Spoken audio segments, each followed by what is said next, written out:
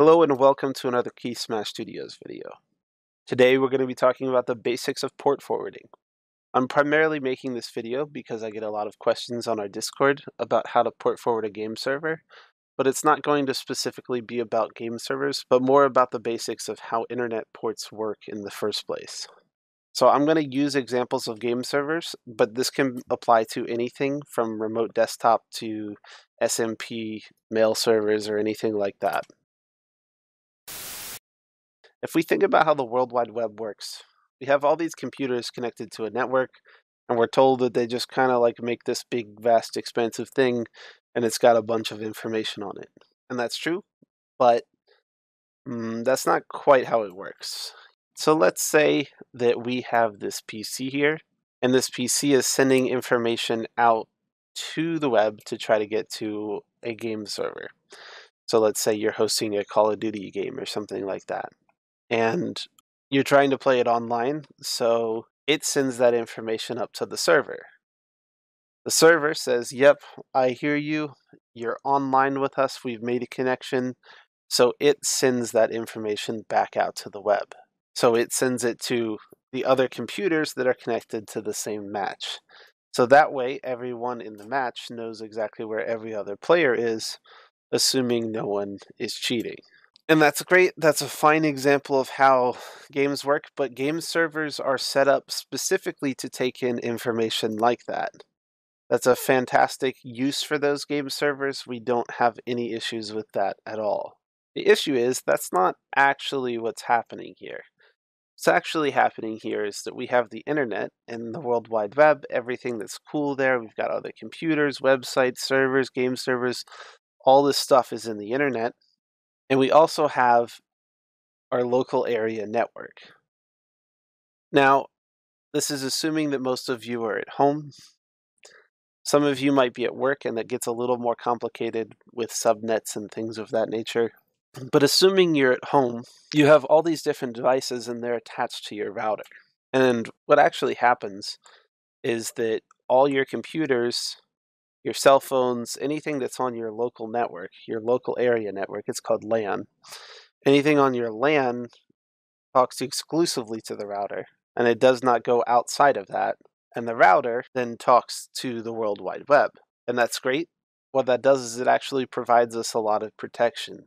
Everything is stored under a public IP address. So when you go to a website, the website says, hey, there's somebody connecting to me somebody from this public IP address. And what it actually is is it's it's looking at the router. It's saying the router is the one asking for information from this website. When you go to YouTube, it pulls down the page and it says, "Okay, router at this public IP address, here it is." And then the router's job is to figure out which computer or device on the network is trying to view that page and disperse the information from there. So we don't actually have this thing where we have the computer that goes to the server. What actually happens is the computer goes to the router, the router goes to the server. It's actually not that much slower than a direct connection. And once the server gets the information, it can see the public address of the router. So it sends information back to the router, and the router sends the information back to the PC. And we have this direct connection between the server and the computer without the dangers of a direct connection. So what happens when we have a PC that wants to contact our PC? What happens when we have something that wants to remote into our, our desktop and we don't know what it is? What actually happens is that it can only see our public IP address. So it goes to our public IP address, and we've got this fancy defense called a firewall. And the firewall protects us from random attacks. And the firewall is very good at its job, and it says not today and it sends that computer back where it came from. And it can't get into your network, it can't get onto your computer. And that is fantastic for security, and that's great. But what happens if we need to actually get the information from that other computer up to our computer and be able to send information back? Well, that's where port forwarding comes in. Port forwarding is sort of like a gap, a tunnel through a firewall. As long as you have the right information going to a port, it will allow information to go through to a specific computer. So let's explore how this works with an example of a Minecraft server. I've put the port that is the default port on Minecraft servers here. It is 25565.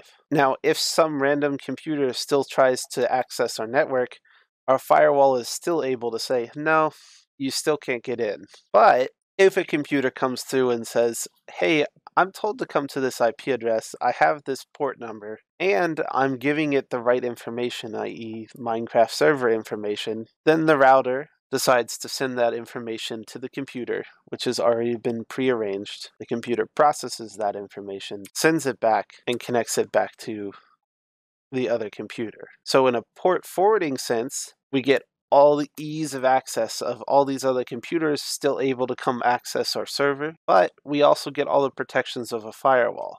We don't disable our firewall, and we're very thankful for that because the firewall is very good at its job. If you have any questions on how port forwarding works, or if you would like a different example, please let me know down in the comments below. As always, you can ask us questions in our Discord. You can find a link in the description below. If you found this video to be helpful, please consider liking or commenting or subscribing. All those things really do help us. If you found this video to be really helpful, take a look in the description below and you'll find a Patreon link where you can show your support. As always, don't forget to follow us on social media, Twitch, things of that nature. Like, comment, subscribe, all that jazz, and hopefully we'll see you next week.